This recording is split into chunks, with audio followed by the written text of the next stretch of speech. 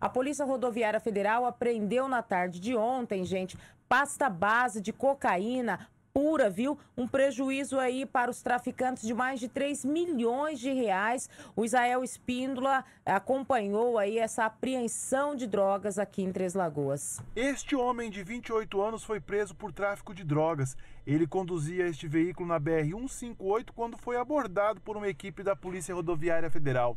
E veja o que estava dentro do tanque de combustível. Pasta base de cocaína e cocaína pura. Essa aqui é cloridrato de cocaína.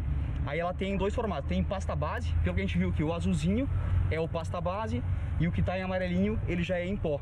O pasta base ele é, vai ser utilizado para fazer mais droga ainda, mais cocaína, né? E o em pó já está pronto para uso. Hein? De acordo com o inspetor da Polícia Rodoviária Federal, o carro foi preparado em Dourados e o destino seria Três Lagoas.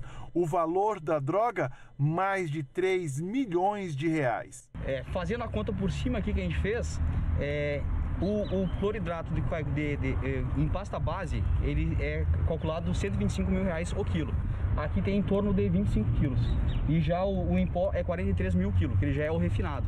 Aqui, pelo, pelo nosso cálculo que a gente fez ali rapidamente, dá uns 3 milhões e meio. No carro estavam o condutor, a esposa e a própria mãe.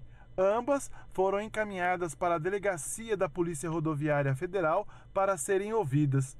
Pelo serviço, ele receberia 5 mil reais. Ele estava vindo de Dourados, ele é natural de Aral Moreira, aqui no MS mesmo, e ele pegou o carro. O carro ele é, ele é locado, já pegou o carro preparado, ele ia deixar num posto de combustível aqui em Três Lagoas, ia se deslocar para um hotel e depois no outro dia ele ia pegar o carro de novo e devolver na locadora lá.